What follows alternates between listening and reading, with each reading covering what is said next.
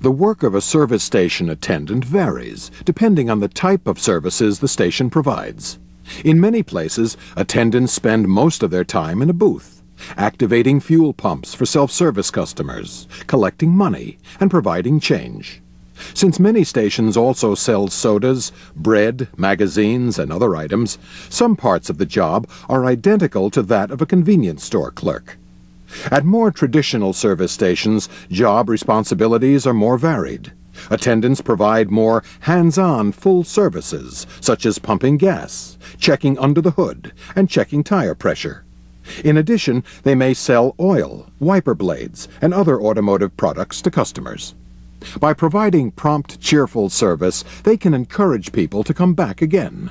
They may also help prevent accidents by noticing whether a customer's tires are low or if a headlight is out.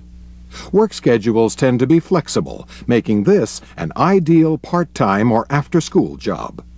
So if you like cars, enjoy interacting with people, and don't mind working in all kinds of weather, this is a great entry-level job that could someday lead to the owning or managing of a small gas station or large busy full-service station.